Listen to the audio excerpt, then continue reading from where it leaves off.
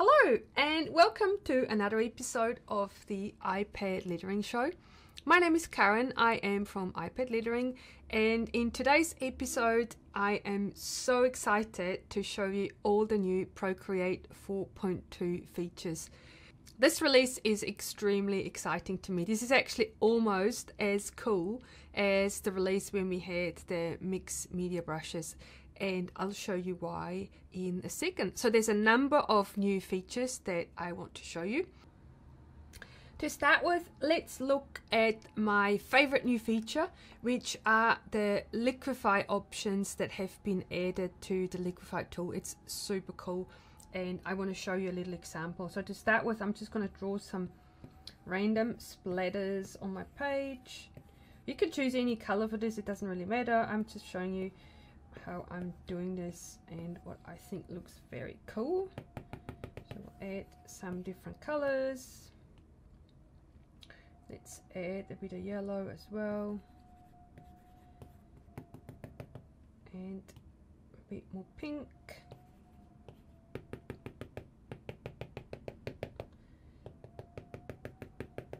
Alright, and then let's select liquify from the adjustments menu. So we've got liquify. And you'll see here that we've got some additional options here. We've got some additional liquify modifications, but we've also got options here to amend the distortion and the momentum. So to start with, I just want to show you what the liquify tool looked like before these additions. So we have, um, if we select push, we were able to push the pixels around the screens like this, which was very cool already. But now let's see what happens when we turn on distortion and momentum. And now watch this. So now we can create little ripples and this is almost like water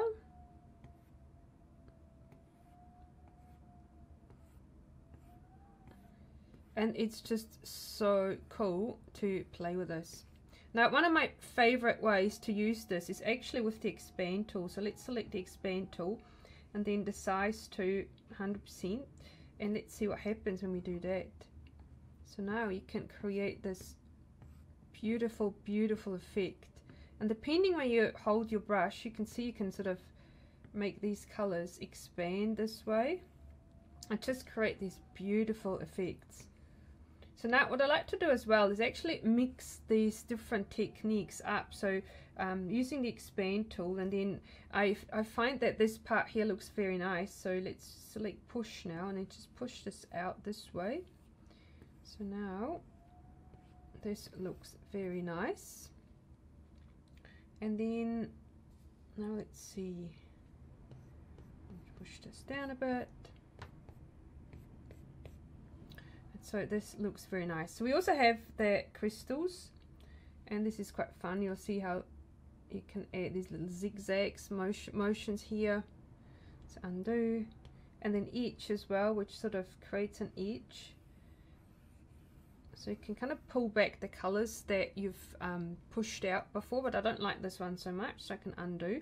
And you'll see that the redo and undo gestures work as part of this tool as well and another one that you might like to try out is pinch which is kind of similar to the edge but it sort of pinches in from different sides.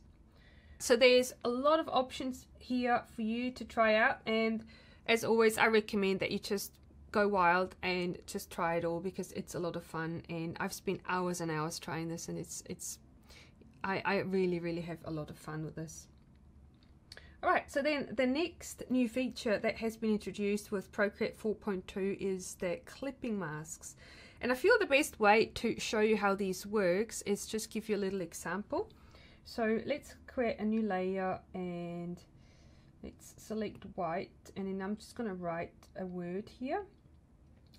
So I'll use that Quicksilver brush for this and then I'm just going to write the word clipping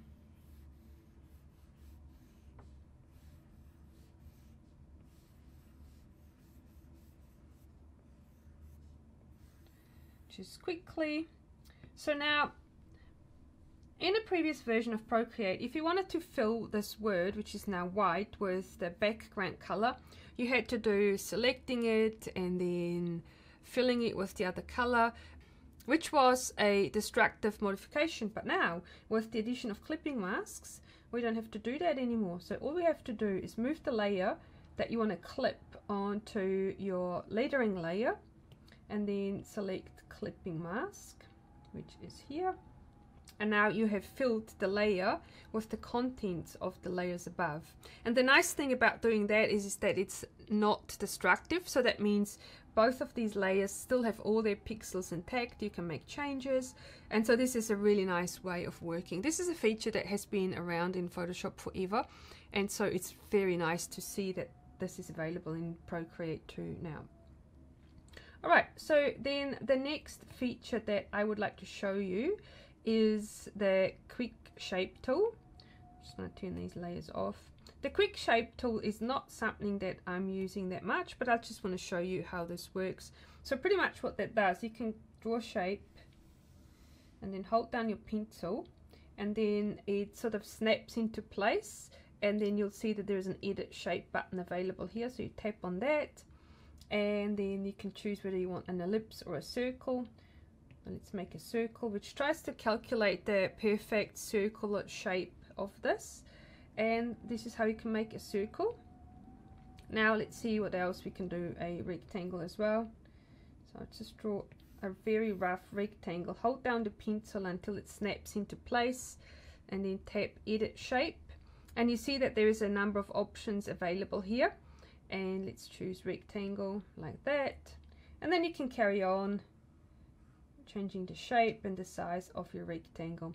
So this is not as precise as if you were using a vector-based app such as Affinity Designer or Vectornator or any of those types of apps. But, you know, just to create a quick shape, this is perfect. Alright, and then we have obviously the line as well. That was there before and that hasn't changed too much. But you can also edit shape and you can create a line or you can create a polyline. And so this this still works pretty much the same as it did before. And then the next feature which is a very much requested feature as well is the ability to resize your canvas. This really really makes a huge difference and in my mind is a massive game changer to do that, you select your actions and then the canvas selection here. And you see there's a new menu entry here that says crop and resize. So you tap on that and then you get into the crop and resize mode. And now there's two things you can do here. You can either drag your the shape of your canvas with your pencil like this and you can create any, any um, size that you'd like. And the, or you can change the pixels here. So let's say I want to make this 6000 pixels by 6000 pixels. I could do that maybe not 60,000 6000 and it'll also tell me how many layers that I'll have if I change my canvas to the size. So what you'll notice is if you make this too big you won't have any layers left. So the app actually restricts you based on the device that you're running this on on how many layers you'll have available so now let's just resize this bit. And then you can also position the canvas so that your existing artwork goes exactly into the place that you want it to go. And then all you have to do is hit done. And then it'll it says cropping canvas. In our case it has increased it in size so that you have your new canvas size like that now, one of the things I want to show you as well with this, you would have noticed that there is a resample button here, and I strongly recommend that you don't use this because if you do, it means you could create larger canvases, but it also means you will lose the resolution of your document. And in most cases, this is not what you want. So unless you really know and you're really, really sure that that's what you want to do, I would strongly recommend that you keep this off. Alright, and then Another really cool feature that has been added to Procreate 4.2 is some really nice additions to the brushes. And obviously I like making brushes, so this is very, very useful for um, what I'm doing. So I want to show you. Let's just go back to the gallery and I want to use one of my watercolor canvases to show you. So I've made a selection of new brushes and I call them real brushes and I will do another video explaining what all these brushes do in more detail but just for the purpose of this video I want to show you some really cool um, features of the new brushes. So one of the things is the stroke taper. So in the previous version of Procreate, sometimes when you draw a stroke, the ending of your brush stroke here was a little bit harsh or maybe not quite the way you intended it. But now there is an option to taper the brushes so that these ugly endings don't happen so much anymore. And it's actually made a huge difference. Um, let's just have a look. So if we have a look at this brush mark, you'll see here that there's now a lot of different options of how you can change the tapering of, of your brushes. And so this is this is really nice. Now, a nice side effect of this tapering brush strokes, I find, is that you don't have to have your streamline settings set up to 100% anymore. I find now that with this additional setting, my brushes work better if I don't max out the streamline feature. So this is a um, brush that I made which creates really nice thick and thin strokes. I'm just going to change the color to make it a bit more obvious what this looks like. So it's just like that. And that's that's very nice and you see that it's got nice even edges. And then another new feature that comes with the new brush settings is the ability to individually set the pressure for the brush size, the opacity and the bleed per brush. So it's not a global setting anymore, but it's actually a setting that's individual per brush. And to illustrate this, I want to show you um, the fountain pen brush that I made. So this brush now, instead of just being quite kind of even with the um, thickness when you create your stroke, this creates now a sort of an uneven stroke. And this is how it's possible to emulate real brushes a lot easier. So this one here I quite like a lot. This one now creates quite uneven brush strokes. And you can see it creates these little these little edges here. And it's not something that I've written, it's just because I've set up the brush this way that it creates this. And so you can really get some really nice effects with um, these new brush settings and they look they look really really nice and these new settings also allowed me to massively improve my watercolor brushes as well. So I've created this juicy pen here and this is now really really nicely realistic. And you can see how that the color changes even nicer than before.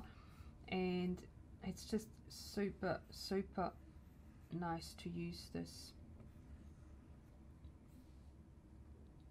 And then there is quite a few nice little other changes as well that I would like to show you.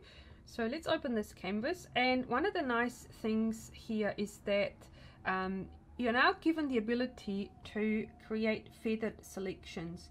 So you'll see here if you select the selection menu there is additional options here and let's choose the ellipse and then draw an ellipse. So this creates now a selection here and I now have the ability to feather the selection and I'll show you what this looks like. So select feather which brings up an additional menu here and then I select the amount of feathering that I would like to do and feather just means that it sort of fades out your selection and creates a nice um, subtle transition. Alright so let's do that and then hit duplicate and now you don't really see anything because all it's done is it's created a new selection and it's copied whatever pixels were based in the selection onto a new layer. And to re reveal that, let's turn the existing layer off. And now you can see how it's created the selection and it's a very, very nice soft transition around the edges. And then another really nice new addition to the selection tool is the ability to warp shapes. So you'll see that there is some new menu options here. There is now freeform, which is the same as the existing selection tool with the magnetics. Or if you wanted to change your shape uniformly, you can select this. And from experience, I feel this is the same setting as if you were choosing freeform and then magnetic. So that means it just resizes your shape um, uniformly. Or we can do it this way. So it kind of does the same thing. And you'll also notice there's now the addition of this little green handle here. And this is actually really handy because this allows you to rotate your shape like this. It's just an, a, a, sort of a little thing but it actually makes quite a big difference in practice. So this is really really well thought out. And then additionally to the distort transformation tool here, we also got a warp tool. And this is very cool as well because this allows you to change the shape sort of in the middle of the shape as well rather than just around the edges. So you can create some really nice effects with this as well. So let's see what this looks like. Maybe we could leave it like this. And so this was a nice easy transformation of the existing shape and it, it looks a lot more beautiful now. Now what what you would have noticed there is a little interpolation setting here so if you tap on that, you get to choose how you want the calculation of the additional pixels that need to be created to be calculated.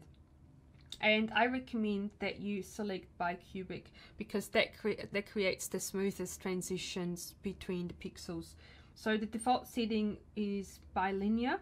So when you start using the selection tools here, make sure that you just turn up the interpolation menu and then select by cubic and then you don't have to remember it anymore. Procreate will remember the setting for you and then you uh, ensure that you always have the smoothest transitions for your warping and distorting and any of the transformations that you're making to your artwork. Alright, so now let's turn this back on and see what it looks like. So this creates a nice little transition here. And there you have it. These are all the new features of Procreate 4.2. Let me know what you think in the comments. I think this is a fantastic update and I can't wait to see what you are going to create with it. Till next time.